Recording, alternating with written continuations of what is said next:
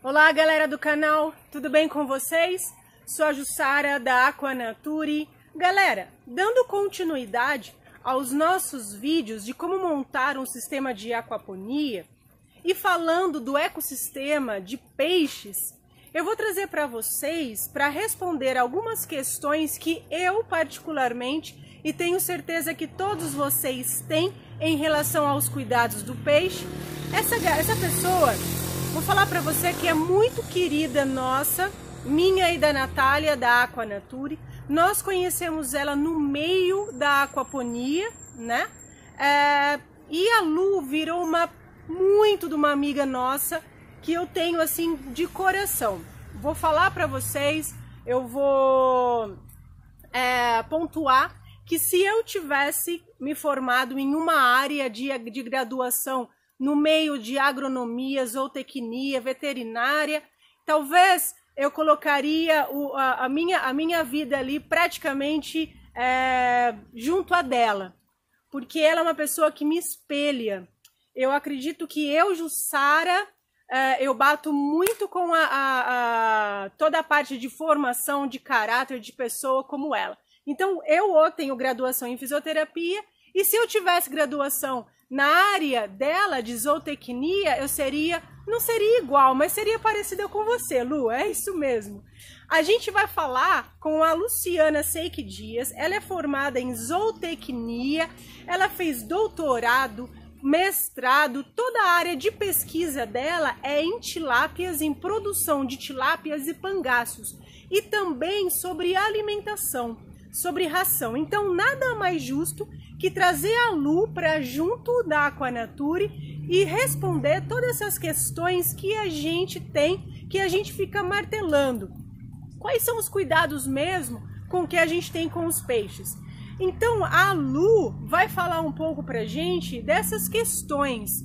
Quais as doenças mais frequentes que os peixes têm?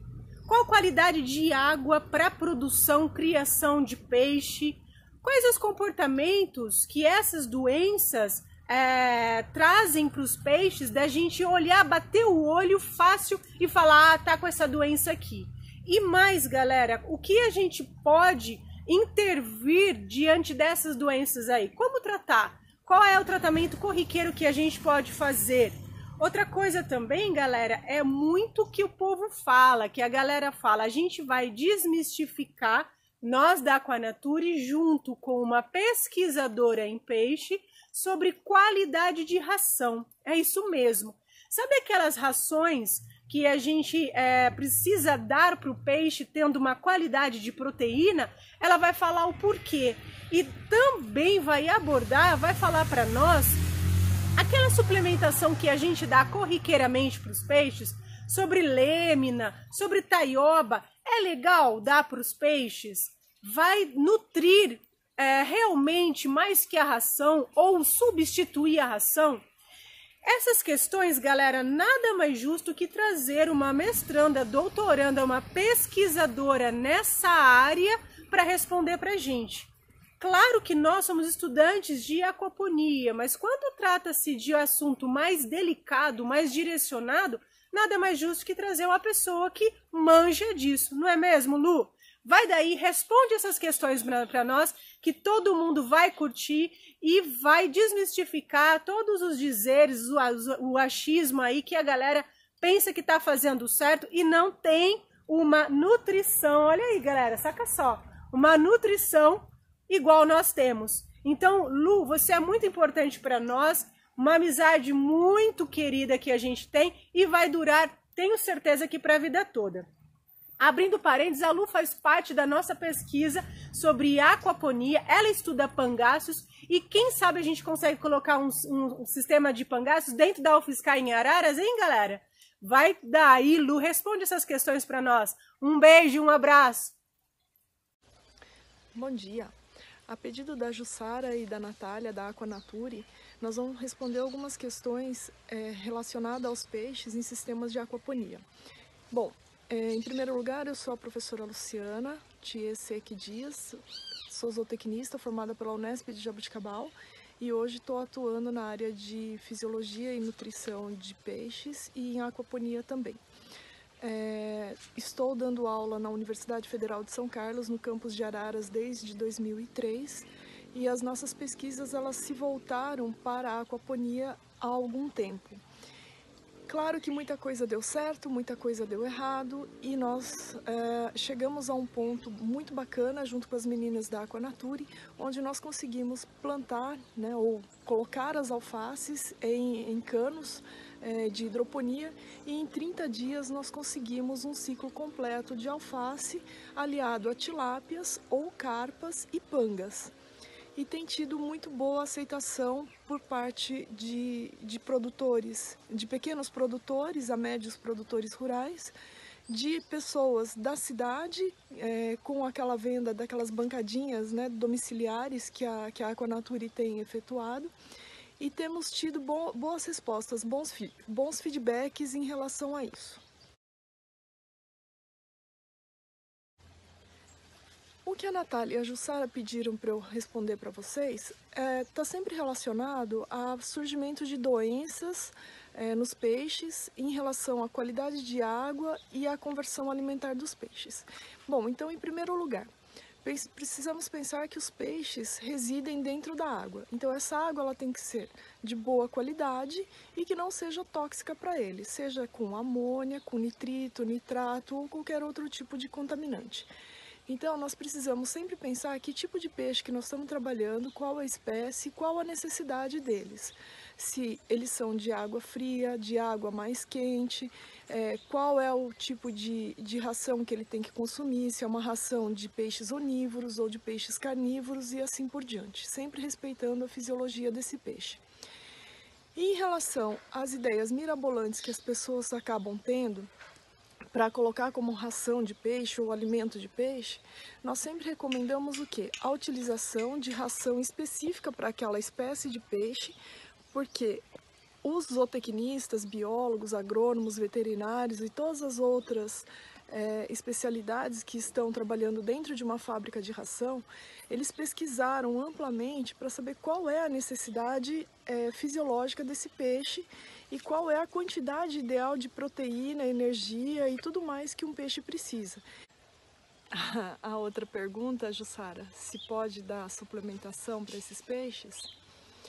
Olha, não adianta a gente falar que não pode, né? Porque o peixe é de cada um, cada um faz o que quer ou o que bem entende.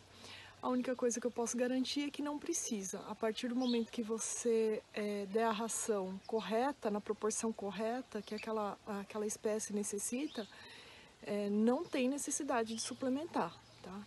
É, e não adianta pensar que ele vai crescer é, como nos índices que a gente vê nos índices zootécnicos que nós conseguimos observar em trabalhos científicos da produção de peixe, é, quando ele está num espaço reduzido, né, como é o espaço da aquaponia, ah, dificilmente ele vai ter todo o desempenho zootécnico como ele teria num ambiente maior, é, com mais espaço, com maior troca d'água e tudo mais. Então, o que eu sempre falo, às vezes a gente não consegue ganhar dos dois lados, nas, uh, nas alfaces, né, nas hortaliças e nos peixes. Então o que, que é importante? Nós focarmos em um ponto, é, claro que no sistema de aquaponia nós vamos focar no ponto que da produção de hortaliças e não na produção de peixes. E o peixe, a gente tem que pensar que ele está ali como um, aliado nosso na produção de hortaliças, né? Ou seja, você dá a ração, essa quantidade de ração diária é importante e por que, que é tão importante assim? Não adianta a gente ter um sistema de aquaponia se você não colocar ou não der toda a quantidade de ração que aquela espécie que você está usando, seja tilápia, carpa, panga, lambari, qualquer que seja a espécie, você não der a ração adequada e na quantidade adequada em relação à espécie e ao tamanho dele. Então, é importante porque a partir da quantidade de ração sendo metabolizada pelo organismo dos peixes, é que vai dar os nutrientes necessários para as hortaliças que estão no sistema aquapônico.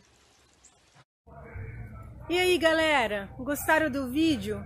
Espero que vocês tenham aprendido e lembre-se, para fazer um sistema bem legal de aquaponia, tem que seguir as regras regra de piscicultura, regra de hidroponia, regra do sistema biológico. é necessário para você ter saúde nos três ecossistemas. Espero que vocês tenham gostado do vídeo. E Lu, muito obrigada por ter é, gravado um vídeo para nós, por ter amizade conosco e tenho certeza que todo mundo é, curtiu demais. Galera, quem gostou dos nossos vídeos, dá um like aí.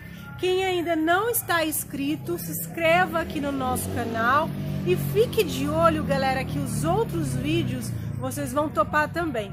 Sabe aquelas perguntas que vocês fazem pra gente sobre o que deu no nosso estudo de camarão? É isso aí. No próximo vídeo a gente vai falar de camarão direto da universidade, lá da, da Unesp de Jabuticabal, e o nosso parceiro Caio vai falar sobre camarão para nós. Então aguenta aí. Se você não inscreveu, se inscreva, acione o sininho para toda vez que a gente ter um, um vídeo novo, quente, você chegar aí na sua casa, pronto para você assistir. Aciona e se inscreva no nosso canal. Dá um like aí se tu gostou. Um beijo, até mais, fique com Deus e até a próxima, galera!